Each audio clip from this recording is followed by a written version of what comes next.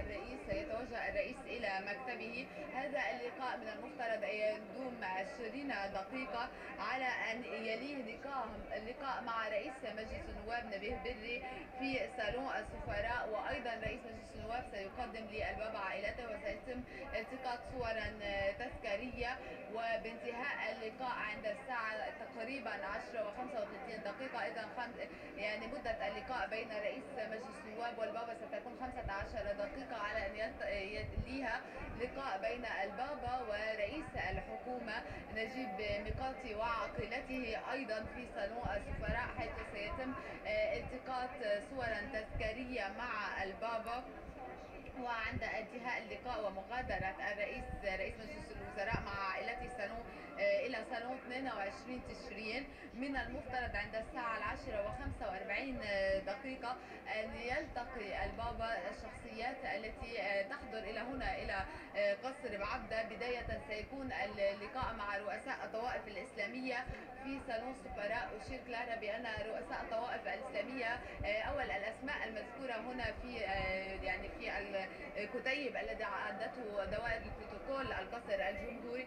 أول لقاءات هو مع مفتي الجمهورية اللبنانية الشيخ محمد رشيد قباني يليه نائب رئيس المجلس الإسلامي الشيعي الأعلى الشيخ محمد أبالين أيضا سيكون هنالك لقاء مع شيخ عقل الطائفة الدرزية ورئيس المجلس الإسلامي العلوي بحضور أمين سر الكرسي الرسولي والبطريرك الماروني مدشارة بطرس الراعي ورئيس المجلس البابوي للحوار بين الأديان جان لوي توران والسفير البابوي المونسنيور جابرييل كاتشيا.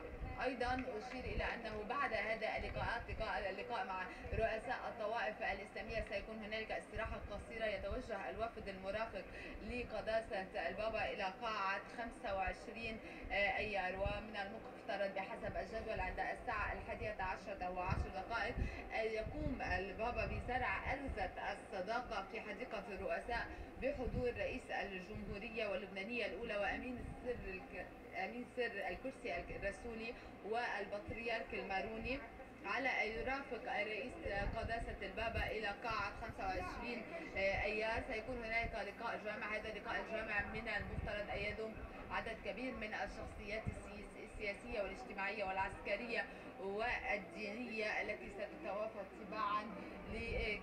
تلتقي بالبابا في قصر بعبدة على أن يكون عند الساعة الحادية عشرة والربع. هنالك كلمتين يعني كلمة لرئيس الجمهورية وأخرى لقداسة البابا. وأخيرا يرافق فخامة الرئيس واللبنانية الأولى قداسة البابا وسط صفين من الرماحة إلى سيارته عند مدخل البه الرئيسي للقصر. ويغادر البابا عند الساعة الثانية عشرة ظهرا يغادر متوجها إلى بزمار حيث أيضا سيكون هنالك برنامج في بزمار أشير كلارا بأن هذه الزيارة يعني التي وصفت بأنها زيارة تاريخية تأتي بعد زيارة البابا الراحل يوحنا بولس الثاني في عام 97 والتي حملت أطلق خلالها الإرشاد الرسولي أيضا بلبنان وحمل عنوان الرجاء للبنان. اليوم تتكرر زيارة الحبر الأعظم إلى لبنان لكنه يأتي حاملا عنوان الشرق الأوسط ويصف البعض بأن زيارة خليفة بطرس إلى لبنان اليوم ستكون بمثابة أو الإرشاد الرسولي سيكون بمثابة صندوق بريد